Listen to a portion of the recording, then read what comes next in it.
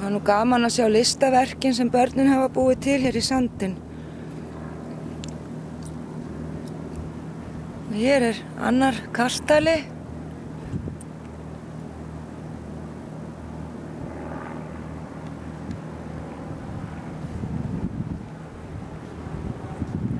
Og hér er enn annar.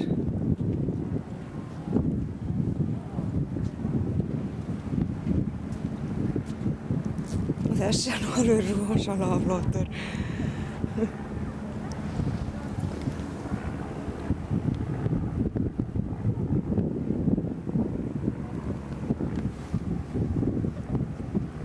Hann er sko með undirgöng